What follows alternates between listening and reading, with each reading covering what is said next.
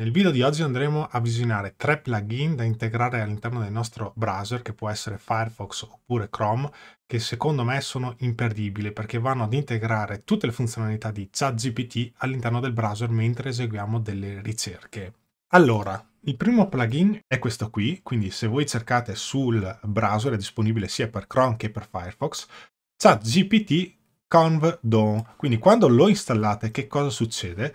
Succede che quando entrate su ChatGPT compare questa iconcina che vedete questo pulsante che c'è giù in basso, download. Se io adesso andassi a cliccare su download, lui va e mi scarica tutta la conversazione che ho appena avuto con l'intelligenza artificiale, perché poi lui memorizza comunque gli argomenti qui, ma a un certo punto se ne avete troppi lui comincia a cancellarli. Io voglio veramente invece memorizzare quello che è stato scaricato, quindi arrivo qui, eh, apro il file col block notice e vedete che qui mi ha tirato giù tutta la conversazione che ho avuto con lui, quindi posso archiviare tutte le conversazioni che ho con l'intelligenza artificiale. È una cosa veramente interessante. Quindi questo plugin che trovate in descrizione è eh, fruibile appunto per Firefox e Chrome.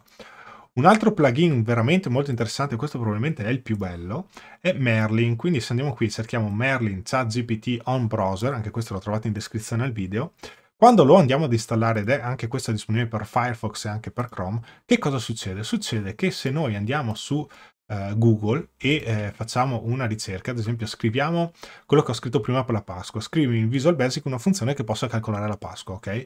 Quindi io scrivo qui e mi escono le, eh, su, le proposte dei siti da andare a vedere su, uh, con Google, no? Quindi lui mi propone le solite cose. Però qui compare questo pop-upino qui e se io come risposta di Google non mi piace quello che lui ha risposto, posso andare a dire perfetto utilizziamo Merlin, quindi clicco ulteriormente su search. Quando io clicco su search che cosa succede?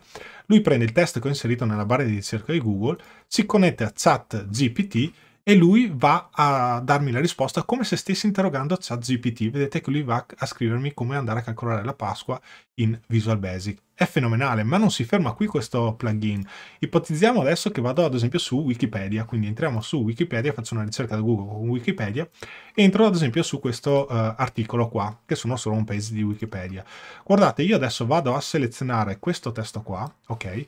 E qui compare questo uh, pop-up, ok? Questo pop-up è Merlin, lui mi dice per utilizzare Merlin in qualsiasi sito noi siamo, cosa fai? Premi CTRL più G oppure premi su questo pop-up. Appena io premo, si apre la uh, finestra di ricerca di comunicazione con, chat, con ChatGPT. Quindi lui prende tutto il testo che io ho sottolineato qua e io adesso gli potrei dire fammi un riassunto del testo.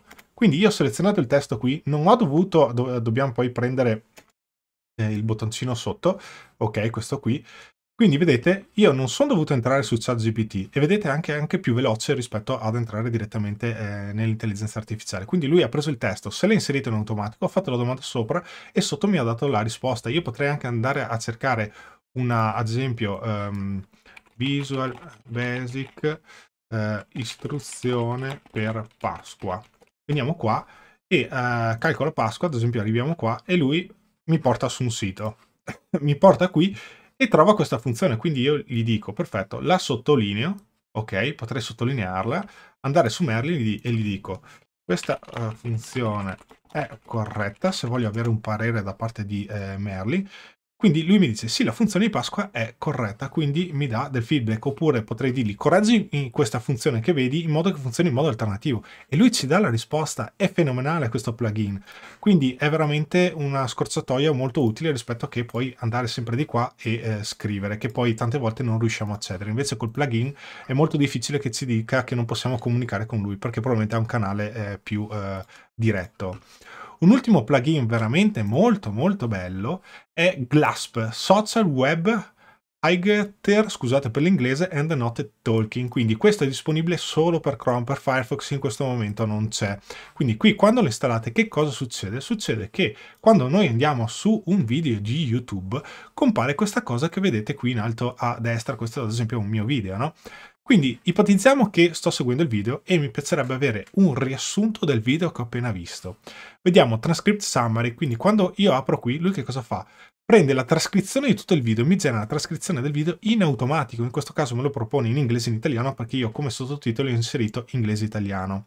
Se non ci fossero, che io non li ho inseriti, li va a generare in automatico, quindi lui dalla voce interpreta e genera i sottotitoli. In questo caso andiamo su italiano e vedete che io qui ho tutti i sottotitoli e se clicco su questo uh, mirino che vedete in alto a uh, destra, questo qua, cosa succede? Che se io sono a questo punto del video e clicco qua, lui mi porta nella posizione del, dei sottotitoli in cui io sto andando a visionare il video.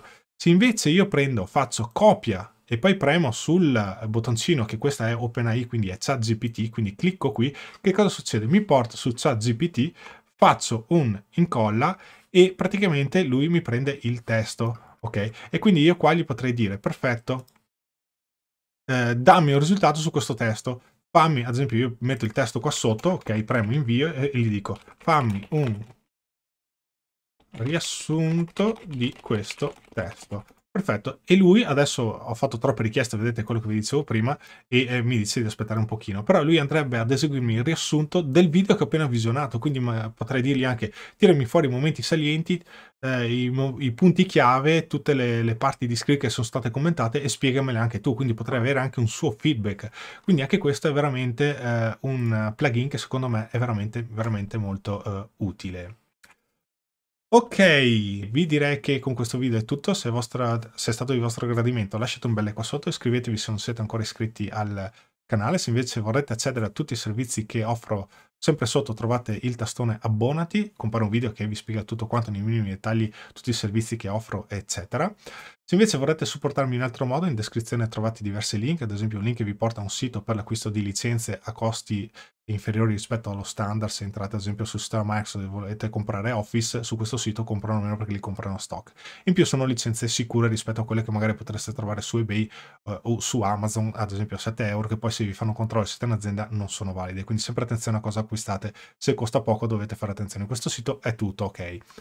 Oppure ci sono i link eh, di Amazon in descrizione, che se dovete acquistare qualcosa lì passate per i miei link, oppure ci sono anche i miei corsi che trovate sempre in descrizione che portano a Udemy ci sono corsi completi con eh, rilascio della certificazione digitale che pot poi potete utilizzare come meglio eh, credete. Ok, vi ringrazio molto per avermi seguito sino qui, ci vediamo al prossimo video. A presto, ciao!